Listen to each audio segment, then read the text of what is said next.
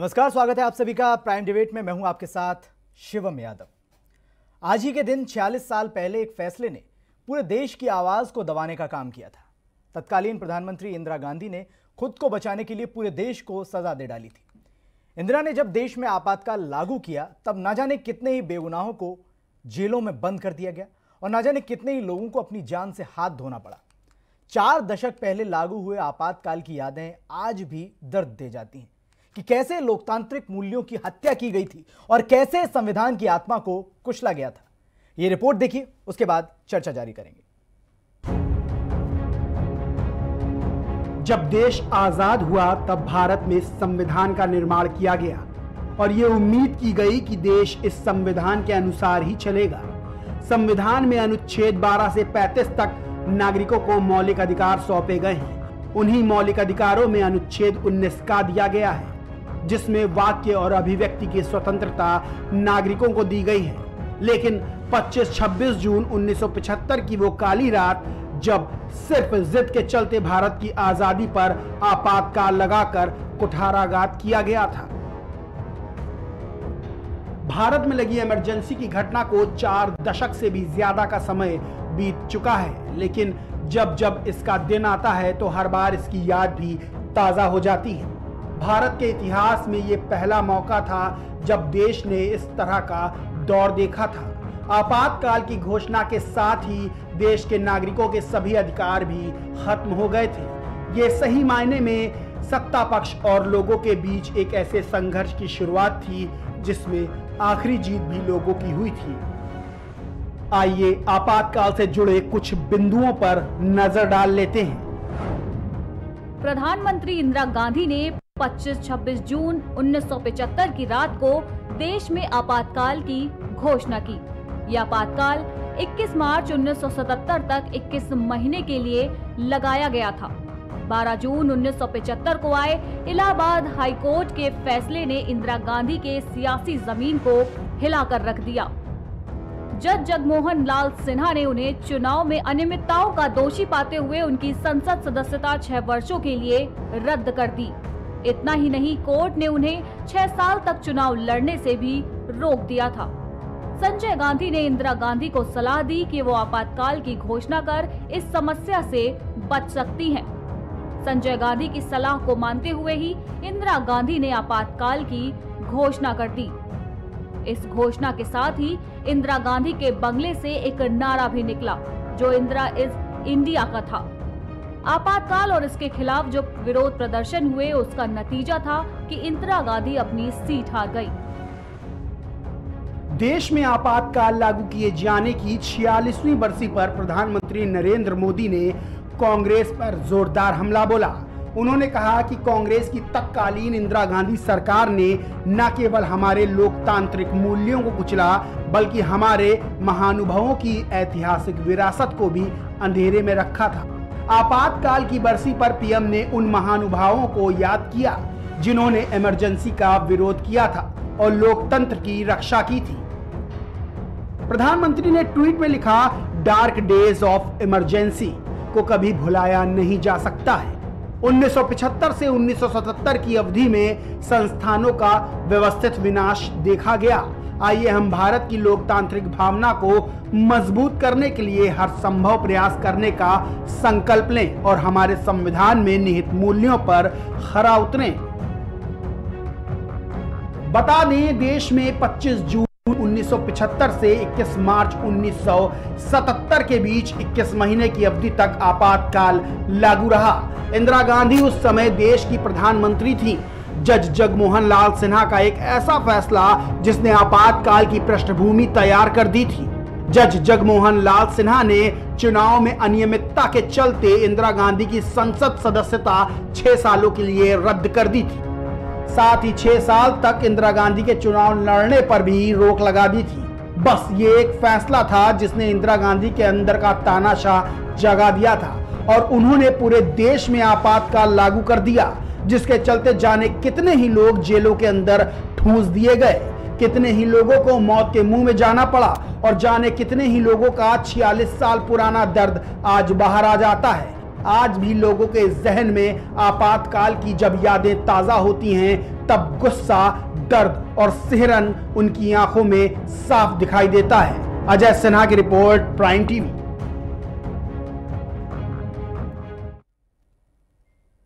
तो वाकई में आज भी आपातकाल की वो यादें लोगों के जहन में ताज़ा हैं। आखिर आज की राजनीति के परिप्रेक्ष्य में इमरजेंसी की बात क्यों होती है? आज हम इसी पर चर्चा करेंगे, लेकिन उससे पहले हम आपका अपने मेहमानों से परिचय करा दें। हमारे साथ अनीता अग्रवाल जी जुड़ी हुई हैं, जो कि बीजेपी की प्रवक्ता हैं। साथ ही साथ अंशु अवस्थी जी कांग्रेस के जुड़े हुए हैं, और हमारे साथ वरिष्ठ पत्रकार संजय श्रीवास्तव जी भी जुड़ चुके हैं। आज इमरजेंसी की बात हो रही है। तो सबसे पहला सवाल अनीता जी मैं आपसे पूछना चाहता हूँ। इमरजेंसी कांग्रेस ने लगाई थी। बरसी कांग्रेस को मनानी चाहिए लेकिन हर साल आप बरसी मना के क्या संदेश देना चाहती हैं?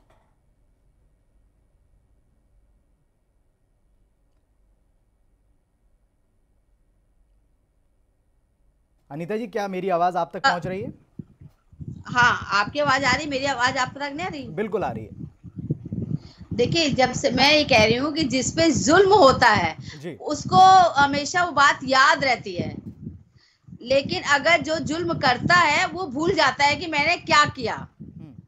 लेकिन जो सहता है और जिसको पता है जिसने इस चीज़ को सहा है जिसने से कड़वा घुट पिया है उसको वो चीज़ सारी ज़िंदगी को रहती है। जैसे आपको कोई दुख देता है और वो हट जाता है, उसका आपको वो दुख का याद हमेशा मरते दम तक रहेगा कि फला आदमी ने मुझे इतना कष्ट दिया, इतना कष्ट दिया, वो आपका एक वो बन जाता है। तो वही चीज़ है, हम लोग इमरजेंसी को इसलिए भूल ही नहीं पाते क्योंकि हमारे पूर्वज कई लोग जेल में रहे यहाँ तक कि मेरे अपने दादा ससुर जो थे, वो भी इमरजेंसी में अठारह महीने जेल रहे थे। मैं मैं जिस परिवार की मैं बता रही हूँ। और जो मेरे सीनियर थे फिर बहादुर सक्सेना, उनके बच्चे कैसे पढ़े हैं, कैसे नहीं पढ़े, वो भी अठारह महीने जेल में रहे। हम जो उनसे सुनते हैं तो हम लोग इतनी दहशत हो गई थी अपने ही देश में रहकर, जैसे कोई मुलजिम हो गया हो, उसको ले लेके जेल में डालना, ले लेके करना मतलब जो हमने सुना उस समय तो हमें खुद खराब लग रहा था कि हमारे ही परिवार के लोग ऐसे थे, हमारे ही सीनियर लोग ऐसे थे, जो लोग अठारह अठारह महीने जेल में रहे हैं, और जिनके बच्चों के साथ उनका क्या हाल रहा है जो पढ़ नहीं पाए, जा नहीं पाए तो उनको क्या भूलेंगे वो लोग? क्या वो छोटे बच्चे भूलेंगे? क्या हमें आप कहेंगे हम उसको भूल सकते हैं? जो हमने हमारे घर में देखा हमने सा है। तो यही चीज़ें हैं जो जुल्म करता है उसको तो याद ही रहता है उसे तो अपना चांडर निचा दिया। लेकिन जो सहता है वो हमेशा याद रखता है। तो आपातकाल की जो स्थिति रही कांग्रेस की सरकार ने उस वक्त लोगों पर जुल्म किया और शायद यही वजह है कि वो हाँ, हर साल बरसी मनाती हैं। क्या कहेंगे आप? जुल्म। मतलब अति हो गई कि लोगों को पकड़ पकड़ के जेल में डाल रहे बिना कसूर के बिना किसी उसके सोचिए तो सोच के डर लगता है। वहाँ तो हुआ था उस समय। आज अंशु अवस्थी जी क्या तो मेरी आवाज़ आप तक पहुँच रही है?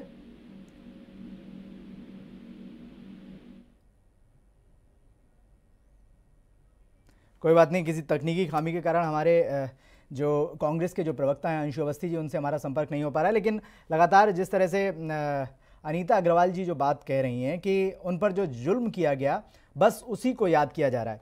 हमारे साथ वरिष्ठ पत्रकार संजय श्रीवास्तव जी बैठे हुए हैं। हम उनसे जान, जानना चाह रहे हैं। आज जिस तरह से इमरजेंसी को लेकर और जो भी चर्चाएँ हो रही हैं, उसको आप किस तरह से देखते हैं? उस पूरे राजनीतिक परिप्रेक्ष्य में आप उसे किस तरह से देखते हैं? देखिए, राजनीति जो है, वो बहुत कुछ इतिहास पर डिपेंड करती है। जैसे इतिहास में बहुत सारी चीज़ें गुजर चुकी होती हैं। लेकिन नया विद्यार्थी भी जब आता है तो इतिहास पढ़ता है तो उसमें प्राचीन, मध्यकालीन और आधुनिक तीनों इतिहास उसे पढ़ाए जाते हैं। और उससे सीख कर ही आगे कुछ रणनीतियाँ बनाने की और आगे की ज़िंदगी जीने की उसे शिद्दत दी जाती है। तो मेरा ये मानना है कि राजनीति में इमरजेंसी एक वो कड़वा सच है, जिसको विपक्ष भी याद करता है और भले ही अंशु अवस्थी की आवाज़ ना आ रही हो, लेकिन कांग्रेस भी याद करती है। अभी आपका जो पैकेज चल रहा था, उसमें दिखाया गया था कि 12 जून 1975 को जगमोहन सिन्हा ने जब इंदिरा गांधी का निर्वाचन कदाचार के आरोप में रद्द कर दिया था रायबरेली का, वहाँ से इसकी पृष्ठभूमि तैयार हुई। लेकिन मैं आपको बताता हूँ कि इसकी पृष्ठभूमि इकहत्तर से ही तैयार हो गई थी, जब बांग्लादेश की जीत के बाद अहंकार और जो उनका एक तरीके से कही लोकप्रियता, दोनों ही इंदिरा गांधी की अपने चरम पर पहुँच गई थी। उसी का नतीजा था कि विपक्ष बिल्कुल हताश था। इकहत्तर का जो आम चुनाव हुआ, उसमें तीन सौ बावन सीटें आई कांग्रेस की।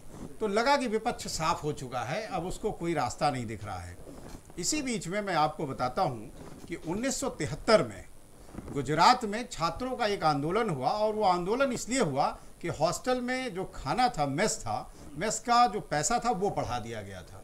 धीरे धीरे वो अहमदाबाद से निकलकर पूरे गुजरात में फैला और इस तरह देश में भी ये आंदोलन फैला। सिर्फ़ एक मामूली आंदोलन था, छात्रों का। लेकिन याद करना चाहिए लोगों को आज कि आंदोलन किस तरीके से बड़े बड़े मुद्दे होने के बाद भी आंदोलन नहीं हो रहे हैं। वो छोटा सा आंदोलन इतना बड़ा हुआ कि मोरारजी देसाई उसमें बहुत ही प्रभावशाली नेता थे विपक्ष के और वो अनशन पर बैठ गए और इसलिए बैठ गए कि तत्कालीन गुजरात के मुख्यमंत्री चिमन भाई पटेल थे। उन्होंने उनकी बर्खास्तगी की मांग की और कहा कि विधानसभा भंग की जाए। और कांग्रेस की सरकार केंद्र में जो थी इंदिरा गांधी की थी ताकतवर होने के बाद भी उसे झुकना पड़ा दबना पड़ा और विधानसभा भंग कर दी गई और चिमन भाई पटेल को बर्खास्त किया गया। दूसरी बात यह है कि उसी बीच तिहत्तर चौहत्तर में ही बिहार में गफूर की सरकार थी। उसके खिलाफ भी छात्र आंदोलन शुरू हुआ, जिसके नेता जयप्रकाश नारायण उभर कर आए। और इसीलिए कहा जाता है कि छात्र और युवा आंदोलन के प्रणेता या फिर कहिए कि उसके जनक के रूप में जयप्रकाश नारायण को याद किया जा सकता है। पटना में उनका एक सभा चल रही थी, जिस पर पुलिस ने लाठीचार्ज कर दिया। नानाजी देशमुख एक नेता हुआ करते थे। उन्होंने और उनके अंगरक्षक ने किसी तरह उनकी जान बचाई।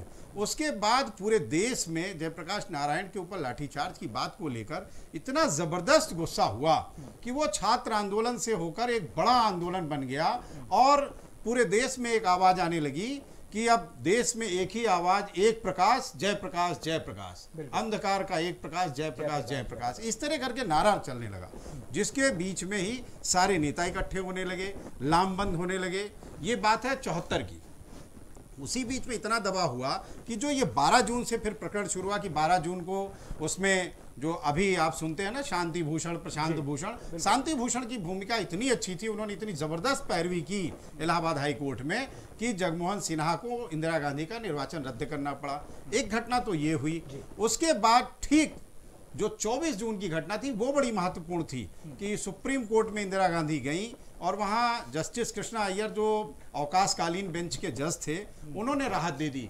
उन्होंने ये तो कहा कि इंदिरा गांधी मतगणना में जो लोकसभा मतगणना होगी उसमें भाग तो नहीं ले सकती हैं लेकिन प्रधानमंत्री पद पर वो बनी रह सकती हैं। इसी का लाभ मिला। उन्होंने तुरंत सिद्धार्थ शंकर रे जो उसमें बंगाल के मुख्यमंत्री थे और इंदिरा जी के परम मित्रों में से एक थे। उन्होंने उनसे कहा उन्होंने धारा तीन सौ बावन का हवाला दिया और कहा कि आंतरिक जो इमरजेंसी है वो लगाई जा सकती है इस धारा के अंतर्गत। तो उस अनुच्छेद का इस्तेमाल करके उन्होंने रातों रात वो पृष्ठभूमि तैयार की। यहाँ एक मज़ेदार बात मैं अनिता जी को भी बताऊँगा। बहुत ही अच्छी एक, बात। एक, एक, एक और सवाल मेरे दिमाग में आ रहा है। मैं अभी आपको दोबारा लेकर आऊँगा इसी मुद्दे पर। लेकिन अभी अनिता जी से मैं ये पूछना चाहता हूँ अंशु अवस्थी जैसे फ़िलहाल हमारे साथ नहीं जुड़ पाए हैं किसी तकनीक खामी कारण। लेकिन जिस तरह से कांग्रेस लगातार आरोप लगा रही है अनिता जी कि लोकतंत्र की हत्या तो आपने भी की है आप भी लगातार वही काम कर रहे हैं जो इंदिरा गांधी सरकार ने किए थे। क्या लोकतंत्र की हत्या कर दी हमने ये बताइए हमने किसको पकड़ पकड़ के जेल में डाल दिया? नहीं एक सेकेंड आप ये बताइए उस समय आपने मालूम है क्या स्थिति थी? अगर आपको व्यक्ति को देख रहे संघ का है या उस जनसंघ उस समय जनसंघ पार्टी थी और जनसंघ पार्टी का कोई भी व्यक्ति दिख जाता था सिंपल जो उसको ले जाके अंदर डाल देते थे जेल में। और कोई मतलब क्या कह रहे हैं कि वो रेलवे की पट्टी तो काट रहा था। वो बिजली की तार काट रहा था। इस तरह के उन्होंने उस समय एलिगेशन लगाए थे। हम्म। और वो एलिगे आज भी हमें आपको बताओ मुलायम सिंह यादव जी हम्म। भी उसमें इन्वॉल्वमेंट थे। वो भी इस आंदोलन में इन्वॉल्वमेंट थे। हम्म। उनपे वो भी उस समय। सबसे बड़ी बात है कि जो आज हमने लोकतंत्र की हत्या की है और उस लोकतंत्र की आप बात कर रहे हैं। हमारे लोकतंत्र में आज सबका साथ सबके विकास और सब पर विश्वास की बात हो रही है। लोगों को आखिरी अंतिम छोर तक सब आवास शौचालय आयुष्मान योजना हम सब दे रहे हैं। बिजली हम घर घर पहुँचा रहे हैं पानी हम घर घर पहुँचा रहे हैं वैक्सीन हम फ्री लगा रहे हैं और जो पोलियो की वैक्सीन की लेकिन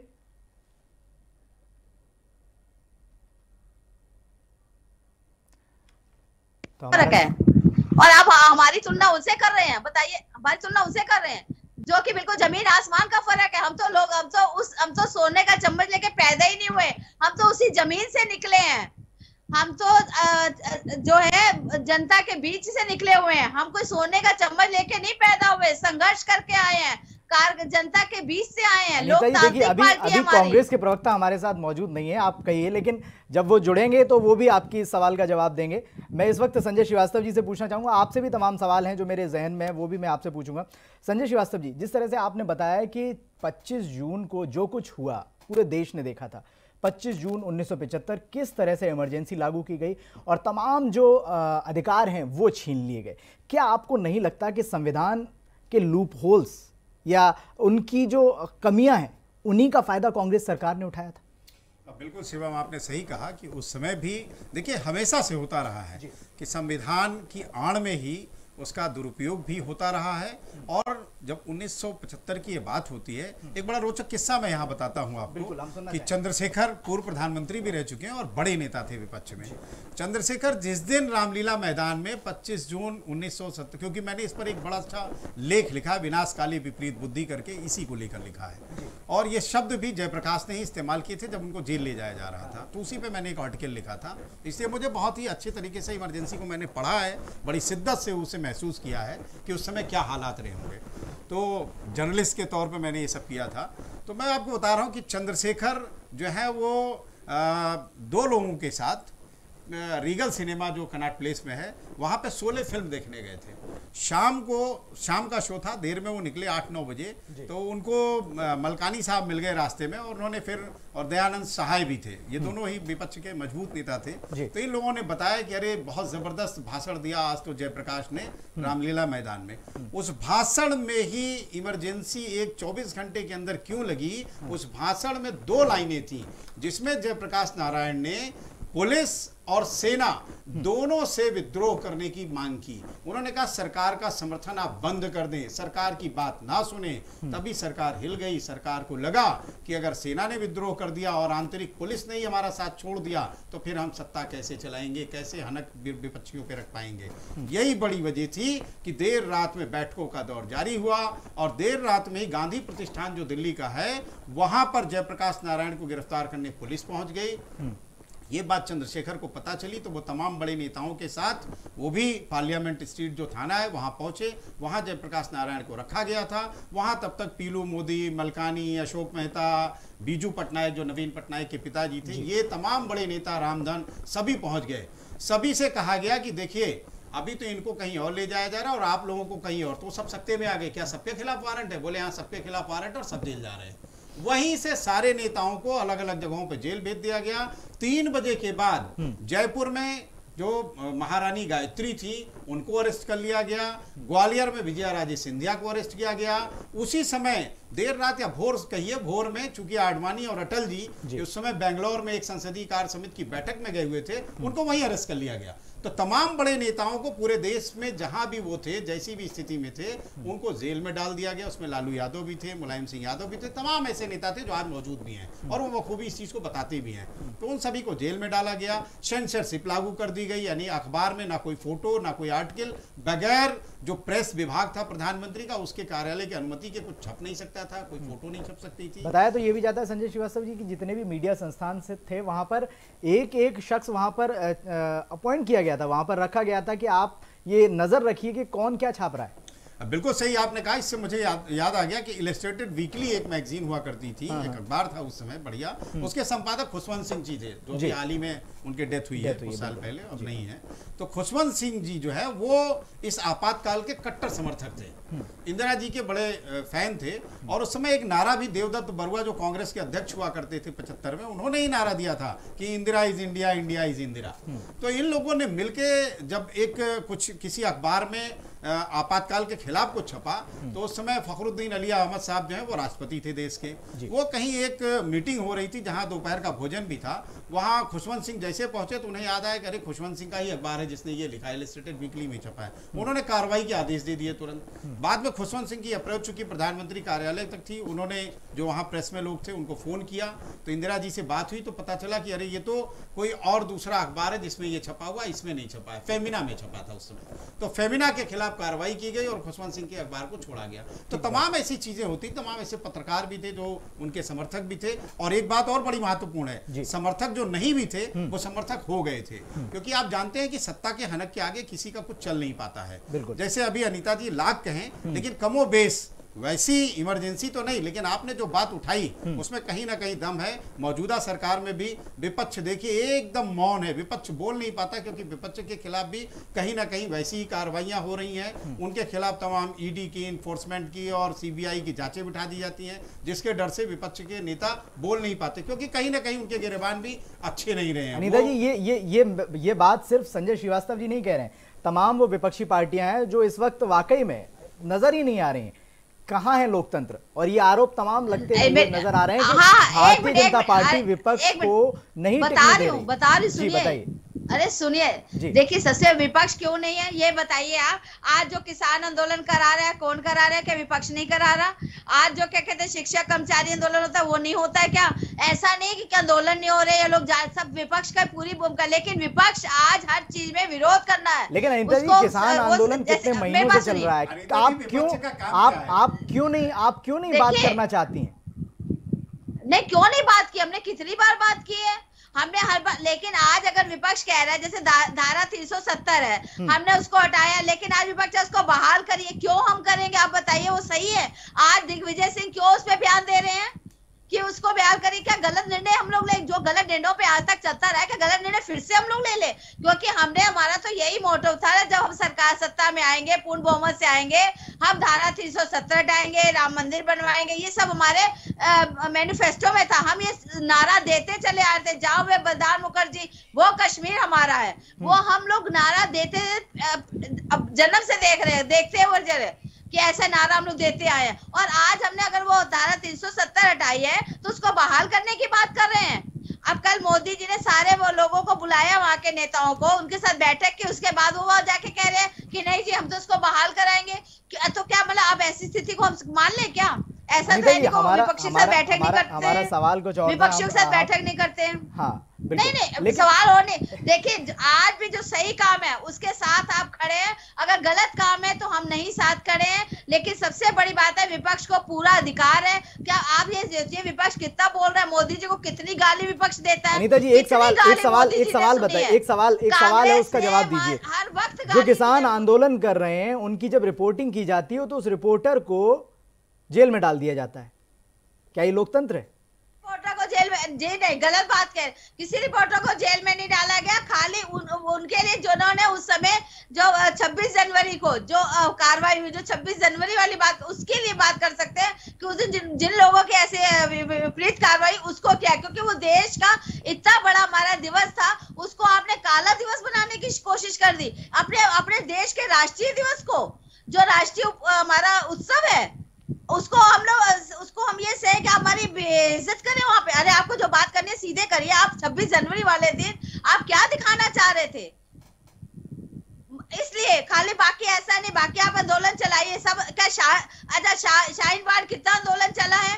कितना हम लोगों ने क्यों कुछ किया उसमें? क्या ऐसी बातें कर रहे? सब आंदोलन भी होते हैं, सब कुछ होते हैं, लेकिन आप आज हमारी तुलना उसमें ले रहे वाकई में हमें सुन के ही बड़ा खराब लग रहा है। अरे, मोदी जी को तो खुद कितनी गालियाँ लोगों ने दी है। चाय वाला कह दिया, वो थर्ड क्लास कह दिया, पता नहीं क्या क्या बोलते रहे हैं मोदी जी के लिए। लेकिन मोदी जी ने किसी को जवाब दिया और उन्होंने क्या कौन सा काम ऐसा खराब किया? उन्होंने देश को आज कहाँ पहुँचाया? आज पूरे विश्व में भारत की गरिमा देखिए कितनी ऊँची पहुँची है। और उन्होंने इसे कोरोना काल में डेढ़ साल से कैसे उन्होंने अर्थव्यवस्था को संभाला कोरोना को संभाला जो पूरे विश्व में आज कम से कम अमेरिका तक जो पहले भारत को मानता नहीं था आज कितना मोदी जी को मानता है कितना देश को मानता है। हमारी आज कहाँ से हमारी ख्याति बढ़ गई है। वर्गीय लेकिन आप ऐसे मध्यम वर्गीय परिवार त्राईमाम कर रहा है पेट्रोल के दाम लगातार बढ़ते जा रहे हैं। कैसे आप कह सकती हैं कि आम आम हाँ, आम आम आदमी मोदी की जय जयकार कर रहा है पेट्रोल के दाम के बाद पेट्रोल पेट्रोल के दाम क्यों बढ़ रहे हैं उसकी कभी बेसिक चीज़ पे गए हैं आप? क्योंकि पेट्रोल के दाम ये कांग्रेस की देन है जो आज हैं। क्योंकि वो बॉन्ड जो बॉन्ड देते थे पेट्रोल पंप वालों को बॉन्ड देते सरकार थे सात साल से सत्ता में है। अरे आप आप भी कांग्रेस पर ही उसका ठीकरा फोड़ रही हैं। अरे पहले अरे पहले पूरी बात सुनिए वो पेट्रोल को दाम ना बढ़ाने के बाद पेट्रोल के दाम नहीं बढ़ाते थे, उनको बॉन्ड देते थे कि आपको ये बॉन्ड दे रहे हैं, आप इतने साल में ले- लीजिएगा। तो आज समझिए बॉन्ड वो हम लोग, हमारी सरकारें दे रही है। हमारी सरकार तीस साल के बॉन्ड जो पहले जो चौदह में किए, जो उन्होंने आगे किए तो सारे बॉन्ड जो पेट्रोल पंप वालों को दिए गए हैं पेट्रोल के दाम नहीं बढ़ाए गए उसकी वजह से बॉन्ड्स दिए जाते थे जो एक खाई पैदा करके गए हैं। आपको शायद मालूम आप जब पूरा इसका इतिहास खोल के देखिए कांग्रेस ने कितना जाल फैला रखा था जिसको धीरे धीरे काटा जा रहा है धीरे धीरे सही किया जा रहा है। आप पहले उसकी स्थिति को देखिए कि क्या कितना किया कांग्रेस कितना वक्त लगेगा अनीता जी? कितना वक्त लगेगा सही करने देखिए देखिए, वक्त मेरी बात, देखिए, वक्त अगर कोरोना काल ना हुआ होता तो आपका वक्त पूरा ठीक हो गया होता। ये कोरोना काल में थोड़ी अर्थव्यवस्था पूरे विश्व की गड़बड़ हुई है। हमारी नहीं हुई, पूरे विश्व की हुई है। और आज भी आप देखिए महाराष्ट्र में पेट्रोल के दाम जब- देख लीजिए और हमारे यहाँ देख लीजिए। जब पश्चिम बंगाल में चुनाव होते हैं तो पेट्रोल के दाम नहीं बढ़ते। पश्चिम बंगाल में चुनाव हो जाते हैं पेट्रोल के दाम फिर बढ़ना शुरू हो जाते हैं। तो पश्चिम देखिए सारी राज्य व्यवस्था उस पे है। अब महाराष्ट्र के पेट्रोल के दाम देख लीजिए और उत्तर प्रदेश के देख लीजिए बहुत फ़र्क मिलेगा आपको। उत्तर प्रदेश में बहुत कम है। अरे आप पहले वहाँ तो देखिए पंजाब के देख लीजिए और यहाँ के देख केंद्र लीजिए। सरकार पश्चिम बंगाल- केंद्र सरकार अपना टैक्स क्यों नहीं कम कर देती? जब कोरोना काल में सरकार- कोरोना काल में क्रूड ऑयल की कीमतें इतनी ज़्यादा गिर गई कि आम आदमी को पेट्रोल पचास रुपए लीटर भी मिल सकता था। क्यों नहीं दाम कम किए गए? देखिए मेरी बात सुनिए सबसे बड़ी बात है पेट्रोल के दाम जो है पीछे शुरू ऐसे आता है। और राज्य सरकार क्या महँगाई लगातार बढ़ते जाना क्या ये एक तरह की इमरजेंसी नहीं है? क्या ये अघोषित इमरजेंसी नहीं है? आप बिल्कुल नहीं बिल्कुल आपको याद होगा अच्छे से कि पचास रुपए किलो उस समय प्याज बिका था कांग्रेस के, उसमें उन्होंने कहा, तब उसमें और आज प्याज की दाम देख लो, दो सौ रुपए किलो हरर की दाल हमने ली हुई है कांग्रेस के समय।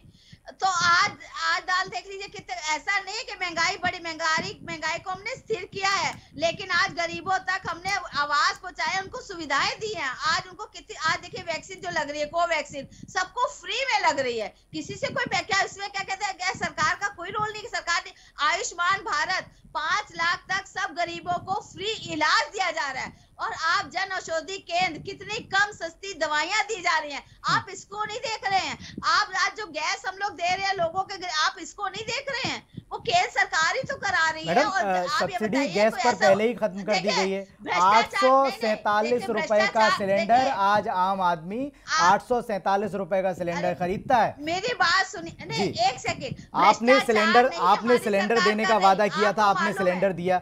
कितने ऐसे गरीब लोग हैं जो आठ रुपए में अपना सिलेंडर भरवा पा रहे हैं? बिल्कुल भरवा पर ऐसा नहीं और आपको मिला भ्रष्टाचार की सरकार है वो खड़ के फिर चुकी है। उन्होंने भ्रष्टाचार आज हमारी सरकार में कोई एक सरकार भ्रष्टाचार जा हुआ हो। चाहे केंद्र में हो चाहे हमारे उत्तर प्रदेश में देख लिए सबसे बड़ी बात है कि आज हमारे इतने ईमानदार नेता हैं उसके बावजूद इतनी बातें उनको कही जाती है कि हद हो गई है। आज हम हमारे प्रधानमंत्री जी भी फालतू खर्चा नहीं करते हैं बाहर जाते हैं तो एयरपोर्ट के होटल भी रुकते नहीं थे। पहले प्रधानमंत्री जाते थे कैसे? जवाहरलाल नेहरू अपने कपड़े तो बाहर डेक्लिन कराते थे। अब आप बताइए चलिए जमाने में इस वक्त संजय श्रीवास्तव जी बड़ा मुस्कुरा रहे हैं मैं संजय श्रीवास्तव जी के पास आऊँगा अनीता? जी दो मिनट आप ये सोचिए हमारे मुख्य प्रधानमंत्री इतना काम कर रहे हैं इससे उसके बाद उनके सब लोग उनकी प्रशंसा कर रहे हैं हर युवा उनके साथ है। उनको मौका तो दीजिए उनको टाइम तो दीजिए। पाँच सात साल में उन्होंने कितना आगे काम बढ़ाया है। सारी हमने जो आज कहा जीडीपी बहुत ऊपर पहुँच गई है बिल्कुल। करेंगे। संजय श्रीवास्तव जी बड़ा मुस्कुरा रहे हैं आप क्या कहना चाहेंगे? मैं अनीता जी की बात पे ही मुस्कुरा रहा हूँ जी। ठीक है? अनीता जी प्रवक्ता हैं और मेरी भी अच्छी इनसे पहचान है। जी। मैं इनको जहाँ तक जानता हूँ कि इनकी अपनी एक लाइन होती है पार्टी की और उसी के अंतर्गत इनको बोलना होता है। जी। ये कैसे कह सकती हैं? जो आपने कहा कि एक अघोषित इमरजेंसी सा माहौल देश में बन रहा है। अनीता जी कह रही कोई भ्रष्टाचार के आरोप अरे आरोप आपके ऊपर लगते हैं आप जाँच तक नहीं कराती इसलिए कि विपक्ष आवाज़ उठा रहा है इसलिए हम जाँच नहीं कराएँगे क्योंकि विपक्ष के कहना ऊपर हो जाएगा विपक्ष के कहने पे आप कोई बात क्यों करेंगे? दूसरी रही बात आप महँगाई पेट्रोल डीजल के दाम चलिए तो काफ़ी दिनों से बढ़े हुए हैं। महँगाई लगातार बढ़ रही उस पर किसी का फोकस नहीं है। मीडिया सेंसरशिप इस सरकार में सबसे ज़्यादा लगी है।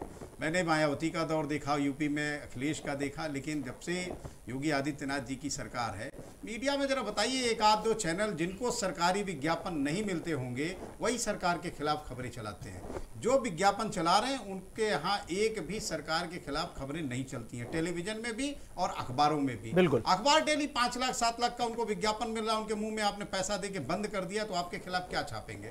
तमाम ऐसी खबरें होती भी हैं यदा कदा किसी पत्रकार ने उठा दी। आपको बहुत पुराना एक किस्सा उठाता हूँ कि नो नोटी की खबर एक पत्रकार ने चला दी थी। बिल्कुल सही तमाम मुकदमे लगा के जेल भेज दिया गया। संजय जी सोशल मीडिया बहुत एक्टिव अनिता है। जी अनिता जी अब मुझे बोलने मीडिया बहुत एक्टिव दीजिए आपका जवाब मैं दे रहा हूँ सूट बूट की सरकार का आरोप आप ही के प्रधानमंत्री पे लगा कि दस लाख पहनते हैं। आपके यहाँ तमाम मैं ऐसे कह रही हूँ, मिशन जीवन के तमाम सोशल मीडिया मिशन जीवन में तीन हज़ार करोड़ का घोटाला हो गया। आज तक आपकी योगी आदित्यनाथ की सरकार ने एक भी नहीं बैठा कह रहे हैं दी कि मीडिया को तमाम ऐसे आरोप ना, हैं की पर जाँच होनी चाहिए लेकिन आप जाँच भी नहीं आप कराती हैं। जब आप जाँच नहीं कराएँगे तो क्या? है? है। है।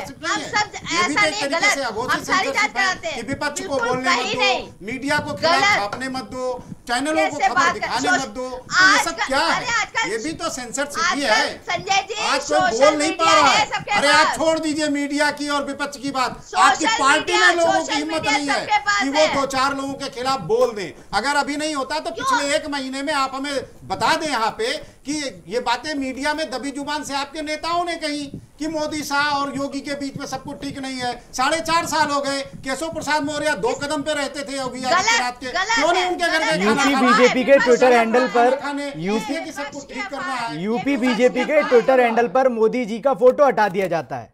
अब इसको किस तरह से देखेंगे आप? बताइए विपक्ष की अफवाह है विपक्ष विपक्षों की अफवाह है अरे ये तो साक्षात ये तो आप प्रत्यक्ष प्रत्यक्षम किम प्रमाण अनिता जी आप आप आपने खुद देखा है ट्विटर हैंडल से मोदी जी की फ़ोटो हटा दी गई।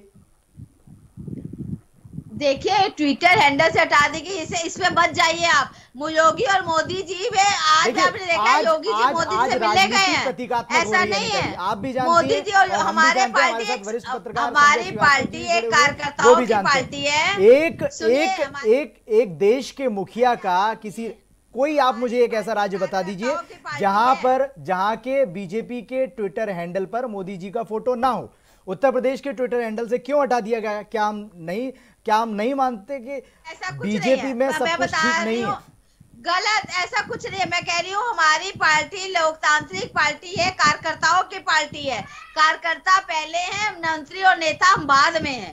ये समझ कोई भी अगर प्रधानमंत्री है राष्ट्रीय अध्यक्ष है प्रदेश पहले कार्यकर्ता है बाद में वो है। तो ये कार्यकर्ताओं की पार्टी ऐसा नहीं है और यहाँ पे कोई एक जने का डिक्टेटरशिप नहीं है। जो है समर्थक पूरी सब लोग ऐसा नहीं कि सोनिया गांधी ने ऐलान कर दिया तो पूरी पार्टी वही मानेगी। या अखिलेश ने कह दिया तो पूरी वो मायावती अनिता जी अभी अंशु अवस्थी जी हमारे साथ नहीं जुड़े हैं वरना उनसे भी ये सवाल पूछा जाता। के सारा फैसला लेते हैं।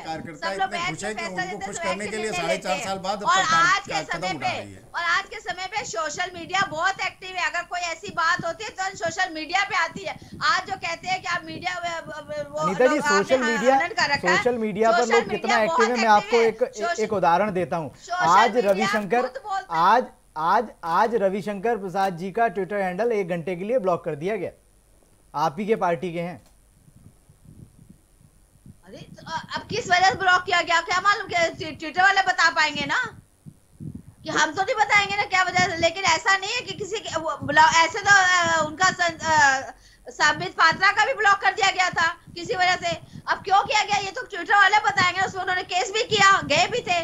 सबसे बड़ी बात है कि ये तो ट्विटर वाले वो, बता पाएँगे। सरकार को सुनने की आदत नहीं है। ना ना, सुनना चाहती हैं और ना समझना चाहती सुनना हैं। भी चाहते हैं आप मोदी जी की जब टाइम मैगजीन उनकी प्रशंसा की तस्वीर छापती है तो आप पूरे देश में कहती है की टाइम मैगजीन में मोदी जी की छपी जब वो सौ के साथ टाइम मैगजीन छाप देती है कि कोरोना काल में इतने तो ज़्यादा सौ अच्छा, आप संजय जी बताइए, संजय जी कब्रिस्तान आप दिखाए बताइए, जाते हैं जलाए जाते हैं शमशान घाट की तस्वीर है। तो आपको बड़ा बुरा लगता है। ट्विटर आपकी प्रशंसा करे तो अच्छा है बुराई कर दे तो खराब है। फेसबुक आपकी प्रशंसा करे मोदी जी की प्रशंसा करे तो अच्छा है। अगर वो बुराई कर दे तो खराब है। दरअसल दिक्कत ये है कि आपको। विपक्ष के साथ साथ मीडिया की भी आवाज़ सुनना पसंद नहीं है। संजय जी आपका राइट है। आप सोशल मीडिया में कुछ भी लिखिए ऐसा तो नहीं है कि आपको पकड़ लेते हैं अभी भी हमने देखा सोशल मीडिया में लोग मोदी जी को तैयारी तो आप कर रही है। कि चुनाव के पहले ये भी तैयारी आप कर रही है ना कि कानून में बदलाव करें। सोशल इसीलिए मीडिया- रविशंकर प्रसाद का मोदी ट्विटर हैंडल ब्लॉक को किया गया।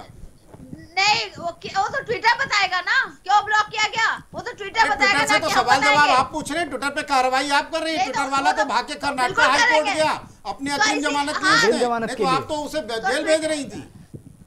बिल्कुल ट्विटर आप अरे किसी को कहाँ छोड़ रही? अच्छा आप साढ़े चार साल में उत्तर प्रदेश की प्रवक्ता है आप बता दिए कि किस मुद्दे पर विपक्ष ने आवाज़ उठाई या मीडिया ने आवाज़ उठाई और आपने उसके खिलाफ कोई जाँच बैठा ली? मैं आपको एक छोटा सा उदाहरण दे रहा हूँ। मिसल जनजीवन में तमाम लोगों ने अच्छा, लिखा तमाम ट्विटर दो अधिकारी भी हटाए गए लेकिन उसका साथ दे देंगे। लेकिन मंत्री जो है गलत जनशक्ति मंत्री महेंद्र सिंह और अनुराग श्रीवास्तव के खिलाफ कार्रवाई क्यों नहीं हुई? आप क्यों नहीं कोई जाँच बैठा ली? तो आप ये मानती है की अभिव्यक्ति की आज़ादी पर आपने रोक लगाई है?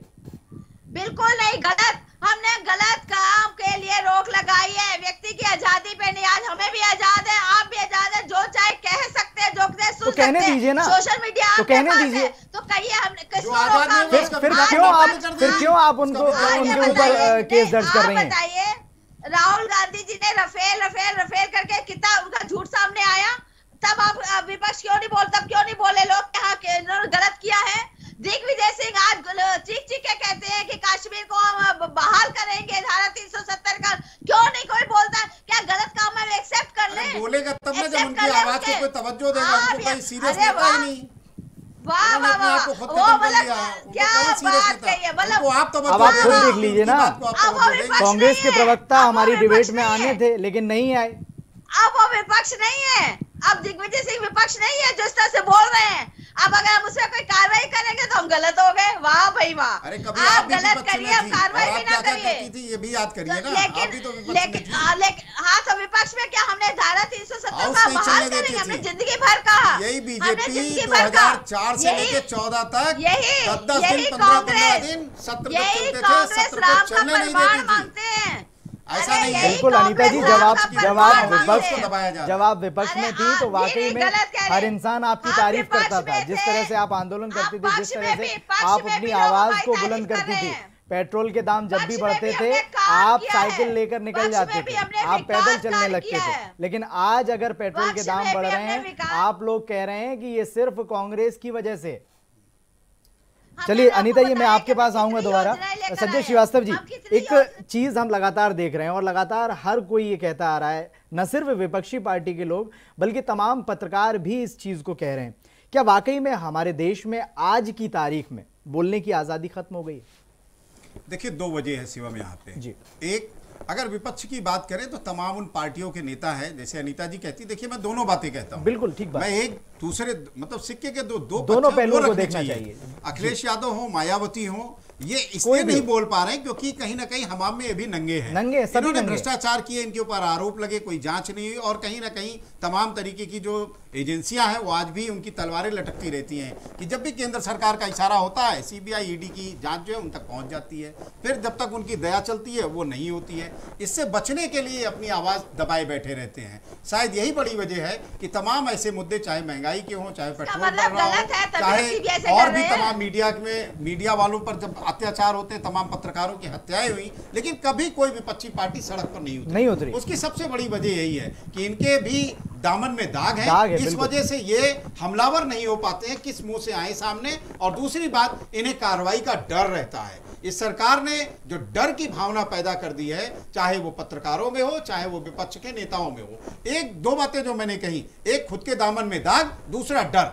तो सरकार का जो डर होता है उस वजह से भी बहुत से लोग कुछ कहना तो चाहते हैं लेकिन बोल नहीं पाते हम पत्रकार हैं तमाम ऐसे मुद्दों पर हमें पता होता है लेकिन हमें तक कहा जाता है कि देखिए भाई आवाज़ जरा संभाल के उठाइएगा क्योंकि आप अपनी जो लेखा जोखा है अपना ज़मीन जायदाद मकान और ये सारी चीज़ें ठीक कर लीजिएगा नहीं तो कल ही आपके यहाँ इनकम टैक्स और सीबीआई वाले पहुँच जाएँगे। तो ये एक जो डर बनाया गया माहौल जिसको कहते हैं माहौल माहौल। माहौल आपने इस तरह तैयार कर दिया है कि लोग आपके खिलाफ होते हुए भी आवाज़ नहीं निकाल पा रहे हैं। ये एक बहुत बड़ी वजह है। और शायद। यही इशारा है जो 1975 में मैंने कहा नहीं एक छोटा सा आंदोलन था कि हॉस्टल में मेस का खाने का दाम बढ़ा दिया गया। उसको लेकर गुजरात में जो आंदोलन शुरू हुआ, कमोबेश वो बिहार में भी छात्र आंदोलन के रूप में आया और सबको पता, अनीता जी, आप इनकार नहीं कर सकती हैं कि इस समय के बड़े बड़े नेता और उस समय भी वही बड़े नेता थे। आपकी पार्टी के भी लोग भी थे, अटल जी अडवाणी जी अडवाणी जी आज भी हैं, बड़े नेताओं में शुमार हैं, लेकिन इन लोगों को जेल जाना पड़ा इमरजेंसी लगी लेकिन उसकी पृष्ठभूमि में बहुत छोटी सी वजह थी। इंदिरा गांधी का जो निर्वाचन रद्द होना वो तो एक बड़ी पृष्ठभूमि तैयार करने के पीछे आया। लेकिन जो पहले पृष्ठभूमि थी जो बहत्तर तिहत्तर से शुरू हो गई वो यही सब थे कि छात्र आंदोलन हुआ। और देश में छात्र आंदोलन ने इतनी मज़बूत नींव पकड़ी जेपी के नेतृत्व में कि उससे जो इमरजेंसी के हालात पैदा हुए। लेकिन आज ऐसा तमाम मुद्दा आया विपक्ष के पास उसके बाद भी कोई आंदोलन नहीं हुआ। आपने किसान आंदोलन की बात की किसान आंदोलन का हश्र आपने क्या किया? आपने सीए या उस पर जो कुछ हुआ उसका आपने क्या किया? तो कहीं ना कहीं जिस तरीके से सुनेंगे आप- की जो बातें थी जिस तरह आपने दबाया जो सरकारी आप- अंकुश है आपके। पास भी। और अनिता जी आज की तारीख में आपको मानना पड़ेगा ना आपका कार्यकर्ता खुश है ना आपका विधायक खुश है सिर्फ़ इसलिए कि सरकार सरकारी अफसरों से चल ये रही बात है। सिर्फ़ संजय श्रीवास्तव नहीं हर कोई कह रहा है कि डर का माहौल है।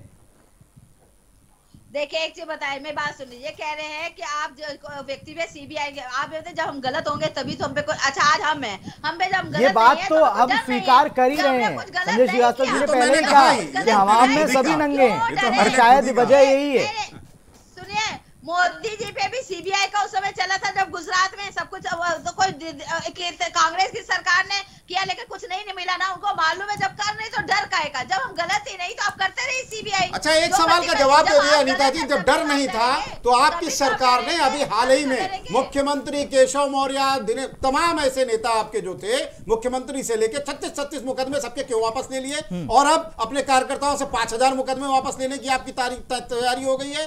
ऐसा क्यों है? कौन सा डर है? नहीं नहीं मुकदमों से आपको? आप क्यों डर रही हैं? अदालत में जाइए फैसला होने दीजिए ना। योगी आदित्यनाथ को अपने मुकदमे वापस लेने का क्यों डर हुआ? केशव मौर्य ने अपने मुकदमे क्यों वापस करवा लिए? पाँच हज़ार कार्यकर्ताओं के आप मुकदमे वापस ले रहे हैं। जो सपा और बसपा में मुकदमे हो जाए वो नाजायज है और जो आपके में मुकदमे हो वो जायज़ है। कैसे ऐसा कैसे हो? सकता है? नहीं, वो बीजेपी हैं? मुकदमे हो, वो नाजायज है। क्या बात कर रहे हैं आप? आप कैसे पत्रकारों की बात कर? अब ये बताइए जो राजनीतिक मुकदमे हैं वो वापस लेने में क्या दिक्कत है? नहीं क्यों वापस ले रहे आप मुकदमा वहीं से निस्तारित होने दीजिए ना। अदालत निस्तारित करे ना आप अदालत से ऊपर चली आप जाती हैं। अदालत से ऊपर बिल्कुल यही बात अदालत से ऊपर चली जाती है। आप अदालत में निस्तारित होने दीजिए ना। अरे सुनिए राजनीति नहीं नहीं आप सुनिए नहीं सुनिए नहीं सुनिए आप आप सुनाइए नहीं सुनिए। बीस सुनिए। आप बीस अप्रैल को इसी हाई कोर्ट ने जब कहा कि सात जिलों में कोरोना की स्थिति गंभीर है आप यहाँ पर लॉकडाउन लगाइए तब आपकी सरकार सुप्रीम कोर्ट चली जाती है तब अदालत का आदेश आप क्यों नहीं मानते हैं? अदालत का आदेश तब तो आप नहीं मानती हैं। आप चली जाती है सुप्रीम कोर्ट। ये नहीं मालूम। जिस वक्त जिस वक्त दो को आते जिस वक्त जिस वक्त कोरोना चरम पर था अनीता जी जिस वक्त कोरोना चरम पर था आपने कहा कि हाई कोर्ट ने कहा है कि चुनाव कराए जाने चाहिए। ठीक है। जब चुनाव होने लगे, चुनाव हो गए, कोरोना चरम पर था। ठीक है। चुनाव होने के बाद जैसे ही जिला पंचायत अध्यक्ष की बारी आई, आपने तारीखें क्यों बढ़ा दी? जब आपको पता था कि लगातार कोरोना का कहर है, जैसे आपने वोट चुनाव करा लिए, वैसे ही आप जिला पंचायत अध्यक्ष का चुनाव भी करा देती उसमें तो बहुत ज़्यादा भीड़ भाड़ भी नहीं होती। मालूम है चुनाव जब ये चुनाव हुए थे तो उसमें योगी जी ने कहा था कि चुनाव को टाल दीजिए। चुनाव आयोग से कहा था और सब दलीय बैठक बुलाई गई। तो इन्होंने समाजवादी पार्टी ने और कहा कि नहीं जी आप चुनाव कराइए। आप डर के मारे चुनाव नहीं कराते हैं। खाली हमारी पार्टी नहीं और सब दलीय बैठक में साफ़ साफ़ कहा गया है कि आप तो यानी आपने विपक्ष की बात आयोग मानी। के पास सुन लीजिए तो यानी आपने विपक्ष की बात मानी। चुनाव हमने चुनाव आयोग के भी बात चुनाव आयोग ने भी कहा। उसके बाद आप बताइए हम मुख्य हमारे योगी जी तो इस चुनाव को टालना चाहते थे लेकिन सबने कहा डर के मारे आप लोग करना नहीं चाहते हैं। लेकिन हमने कहा ठीक है सब लोग तैयार है सबके चुनाव लड़ने खाली बीजेपी को तो लड़ना नहीं है। समाजवादी को मिला भोजस्वर आप सब जाने को तैयार है तो हमने भी चुनाव चुनाव के कहने के भी चुनाव करा दिया उसमें कौन चुनाव एक तरफ़ एक तरफ़ आप कहती हैं कि गलत बात को नहीं माना जाएगा। और दूसरी तरफ़ जब समाजवादी पार्टी आप आप ही कह रही हैं कि समाजवादी पार्टी और तमाम जो विपक्षी दल हैं उन्होंने कहा तो हमने चुनाव जी चुनाव करा दिए। चुनाव आयोग चुनाव आयोग अलग संवैधानिक व्यवस्था है। हम्म। और उस चुनाव आयोग ने कहा हम चुनाव कराएँगे। जब चुनाव आयोग तैयार है तो हम कैसे मना कर सकते हैं? सरकार के अंदर चुनाव आयोग नहीं आता उसकी अलग संवैधानिक व्यवस्था है। आप जनता इस चीज़ को जानती पहले पूरा देख तो लीजिए। तो जनता जानती जनता को बताइए जनता को तो आप बता रहे हैं कि सरकार ने चुनाव करा दिए। जनता को ये तो नहीं बता रहे कि चुनाव आयोग अलग संवैधानिक व्यवस्था उसने चुनाव कराया सरकार ने उसका साथ दिया बस इतना तो है। लेकिन आप उसको गलत दे रहे हैं गलत बता रहे हैं। अरे मैं भी हाईकोर्ट में एडवोकेट हूँ एक एक कानून मुझे भी मालूम है हमसे भी ऐसा तो नहीं सरकार क्यों नहीं मानती है? हाईकोर्ट के आदेश क्यों जब हाईकोर्ट का? आदेश आता है तो आप सुप्रीम कोर्ट चले जाते हैं। कोरोना पर क्यों नहीं माना हाईकोर्ट का आदेश? क्यों देखिए, सुप्रीम कोर्ट गए? एक सेकंड एक सेकंड हाई कोर्ट का आदेश अगर आता है, अगर हमें नहीं है तो हम हर व्यक्ति जिसको हाई कोर्ट का आदेश नहीं वो सुप्रीम कोर्ट जाता ही जाता है। वो चाहे आपके पास कोई केस हो, आप अगर हार जाएँगे तो आप भी जाएँगे। सरकार अगर कोई हाई कोर्ट का केस हारेगी तो सुप्रीम कोर्ट जाएगी जाएगी प्रोसीजर है। और उस प्रोसीजर के तहत अगर हम काम कर तो भी हम गलत है। हद हो गई, हम मतलब सही काम करें तो भी गलत है। और जो लोग गलत करें वो सब सही है। कैसी बातें करे? कहाँ चली गई इस पत्रकारों की बुद्धि? ये सोशल मीडिया में कहते पत्रकार जब इस तरह से होंगे तो हम दूसरे को क्या समझाएँगे? पत्रकार इस चीज़ को नहीं समझ रहे जो तो प्रोसीजर सही है उसको करें। लगी है ना? आपके यहाँ जो तमाम लोग बैठे हैं आप कैसे बातें कर? रहे हैं आपके यहाँ से जो सबसे बड़ी बात है, हमने बैठे हुए वो तय खत्म कर दिया है। पत्रकार को क्या जी है अनीता जी एक एक एक करप्शन को एक खत्म कर सवाल। दिया हम प्रोसीजर को लेकर चलते हैं। अनीता जी एक सवाल एक सवाल एक सवाल एक सवाल मैं आपसे पूछना चाहता हूँ एक सवाल। पीएम केयर फंड का हिसाब ना देना क्या हिटलर शाही नहीं है?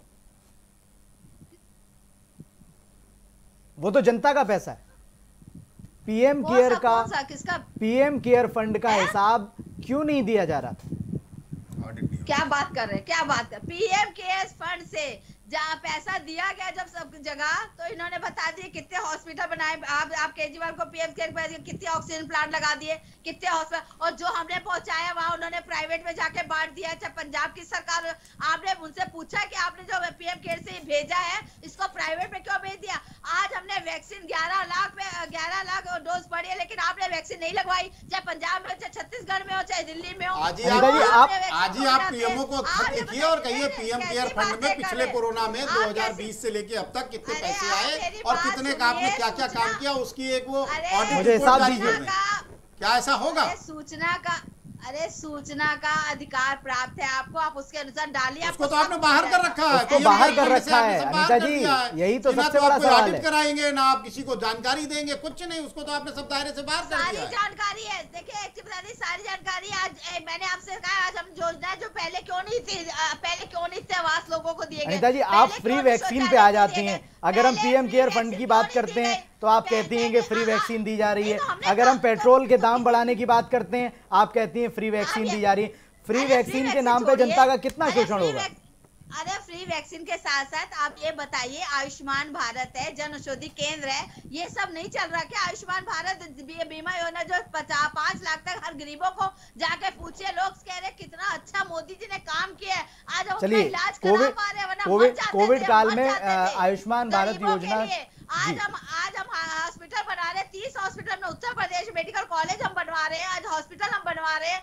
आज हम एम्स बनवा रहे हैं। हम ऑक्सीजन प्लांट लगवा रहे हैं। क्या हम विकास कार्य नहीं कर रहे? हम आज जो- हमारी सड़कें बन रही है बिजली घर घर पहुँच रही है पानी घर घर पहुँचे क्या विकास कार्य में नहीं जा रहा है क्या पैसा? आप ये बताइए लोगों को रोज़गार नहीं मिल रहा? है सब रोज़गार हम दे रहे हैं काम कर रहे हैं रोज़गार मिल रहे हैं सरकारी ये नौकरी सब पीएम केयर फंड से ही हो रहा है सब पीएम केयर फंड टैक्स ये आता है अरे अनीता आप जी देखिए, पानी का टैक्स ये आता है बिजली का बिजली का भुगतान होता है पब्लिक जो भी आप दे रही हैं उस पर आप पैसे ले रही हैं। एहसान नहीं कर रही हैं। इसी मुद्दों को लेके आप सरकार में आती हैं। यही जनता से वादे करती है कि हम जनता को जनता का विकास करें। सुविधाएँ सड़क को आपने साढ़े चार साल में गड्ढों में तब्दील कर दिया है। ना विश्वास हो आप लखनऊ से अपनी कार में बैठिए और जरा अयोध्या के दर्शन कराइए। रास्ते भर आपको खड्डे ही खड्डे मिलेंगे। इस फैजाबाद हाईवे पे मैं आपको बता रहा हूँ। वहाँ से आप हैं। सुल्तानपुर इलाहाबाद जाइए आपको खड्डे ही खड्डे मिलेंगे। मैंने अभी यात्रा की और मैं पूरा वृतांत आपको बता रहा हूँ। अरे कैसी आपने बातें कर रहे हैं? आप जा- वो हम भी भूल से वो गड्ढा मुक्त कहा गड्ढा युक्त हो गई सारी सड़कें अब तो छह महीने चुनाव बचे हैं? अब आप कितना ठीक करेंगे? याद जी, आज- आपको आपको सुनना नहीं चाहती अनिता जी इस वक्त हम मुद्दे से थोड़ा सा थोड़ा सा इतर चले गए हैं क्योंकि हमारी आज की जो बहस थी वो वो इमरजेंसी को लेकर थी।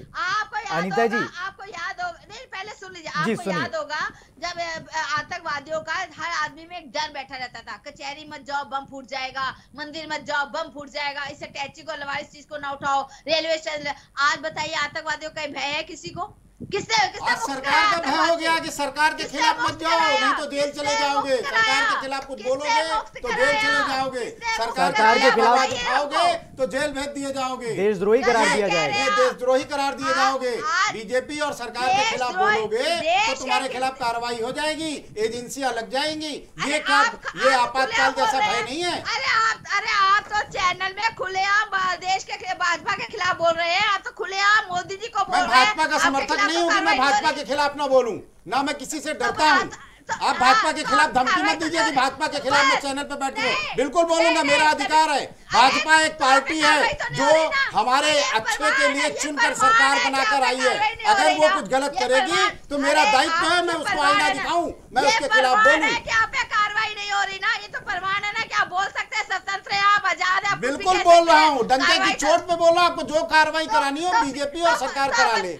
चलिए हाँ, संजय तो श्रीवास्तव जी यहाँ पर यहाँ पर हम लोग चैलेंज देने के लिए नहीं रही अनिता जी सब सामने सामने मेरा सवाल अब संजय श्रीवास्तव जी से। संजय तो हो श्रीवास्तव? जी एक इमरजेंसी जब 25 जून 1975 को जब इमरजेंसी लगाई गई उस वक्त एक और नाम बड़ा सामने आया था वो था संजय गांधी का। संजय गांधी की भूमिका किस तरह से थी? क्योंकि हम अपने दर्शकों को भी समझाना चाहते हैं और दर्शक भी ये जानना चाहते हैं कि आखिर उनकी भूमिका क्या थी? क्योंकि ये बात तमाम लोगों ने कही है कि इमरजेंसी के पीछे कहीं ना कहीं संजय गांधी का भी हाथ बहुत अच्छा सवाल आपने किया और बहुत ज़रूरी था थोड़ा हम लोग भटक गए थे। बिल्कुल। अनिता जी हमारी मित्र भी हैं और शुभचिंतक भी हैं। मैं जानता हूँ मेरे खिलाफ वो कोई कार्रवाई नहीं करेंगी भले ही कुछ कह लें।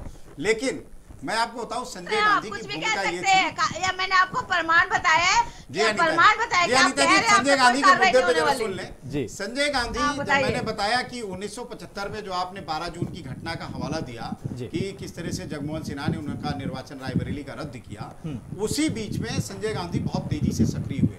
और उनकी एक टीम थी जी। जिसमें सूचना प्रसारण मंत्री तत्कालीन उसमें इंद्र कुमार गुजराल जी थे जो बाद में देश के प्रधानमंत्री भी बने।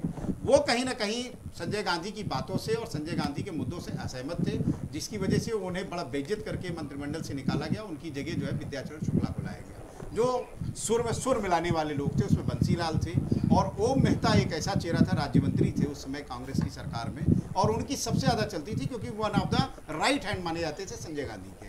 और संजय गांधी की ही भूमिका थी कि उन्होंने सिद्धार्थ शंकर रे से कह के रातों रात ये जो अनुच्छेद तीन सौ बावन के तहत इमरजेंसी लगाई गई, उसका प्रयोग किया। और सारे ही नेताओं को उनके ही फरमान पे जो जहाँ पर था जिस हालत में था रात में दिन में मतलब 25 से लेकर 27 जून तक सभी विपक्षी पार्टियों के चाहे वो जनसंघ रहा हो जनता पार्टी रही हो राष्ट्रीय लोकदल रहा हो जो भी उस समय सक्रिय राजनीतिक पार्टियाँ बड़ी थी उन सभी के नेताओं को जेल में डाल दिया गया। और सेंसरशिप लागू कर दी गई।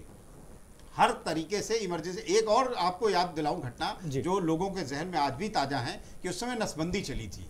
नसबंदी में ये आलम था कि लोग अपने घरों में दो दो चार चार छः छः दिन दस दस दिन खेतों में गन्ने के खेतों में अरहर के खेतों में छिपे रहते थे निकलते नहीं थे। वहाँ भी तमाम लोगों को गोली मार दी गई थी तमाम लोगों की हत्याएँ हुई थी तमाम लोगों की पकड़ पकड़ के उस समय एक रिकॉर्ड आया था कि मुझे वो डाटा मिस कर रहा हूँ मैं। लेकिन पचासी लाख लोगों की नसबंदी की गई थी उस पूरे साल में। तो एक बहुत ही तरीके से आप समझिए कि जैसे आतंक का माहौल देश में व्याप्त हो गया था कि जो लोग नसबंदी कराई जा रही थी जो लोग सरकार की बात से असहमत होते थे या जिनके बारे में कोई सूचना भी आ जाती थी कि ये सरकार के खिलाफ जा सकता है उसको तुरंत पकड़ के जेल में डाल दिया जाता था। तो तमाम संजय- गांधी की मैं बात कर रहा हूँ और याद करना चाहिए कि संजय गांधी का भी हश्र वही हुआ कि जब 77 का आम चुनाव हुआ उस समय एक अनुच्छेद उनतालीस का भी प्रयोग किया गया था अमेंडमेंट हुआ था उनतालीसवां अमेंडमेंट हुआ।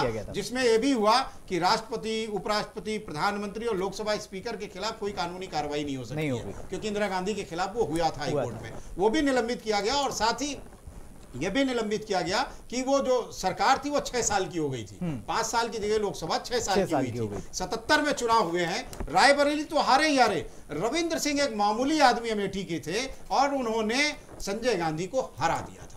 तो ये पहला चुनाव था अमेठी में जब गांधी परिवार वहाँ से हारा था उसके बाद राहुल गांधी हारे हैं स्मृति ईरानी से तो ये। दो तो जो हैं बड़ी महत्वपूर्ण। अनीता जी संजय श्रीवास्तव जी जो बताना चाह रहे थे वो यही कि इमरजेंसी और तमाम जो हालात 1975 में पैदा हुए 1977 में जो हश्र कांग्रेस का हुआ उससे सबक लेने का आज दिन है और भारतीय जनता पार्टी को भी उससे सबक लेना चाहिए अनीता जी बहुत बहुत शुक्रिया आपका, आप हमारे साथ इस चर्चा में जुड़ी। और संजय श्रीवास्तव जी, आपका भी बहुत बहुत शुक्रिया कि आप हमारे साथ इस चर्चा में मौजूद रहे। ये वाकई में, अगर आज हम इमरजेंसी की चर्चा करते हैं तो सिर्फ़ इसलिए कि हमने अपने पिछले कार्यकाल में या पिछली जो हमारा हमारा जो समय रहा है, पिछले समय में हमने जो भी गलतियाँ की हैं, उसको ना दोहराया जाए। इस चर्चा का सिर्फ़ यही उद्देश्य था। आज आपने देखा कि किस तरह से भारतीय जनता पार्टी और हमारे साथ जो वरिष्ठ पत्रकार संजय श्रीवास्तव जी जुड़े थे, उन्होंने तमाम अपनी जो यादें थी वो ताज़ा की और साझा भी की और उससे हमें और आपको काफ़ी कुछ सीखने को मिला होगा। फ़िलहाल इस डिबेट में मेरे साथ बस इतना ही। आप देखते रहिए प्राइम टीवी।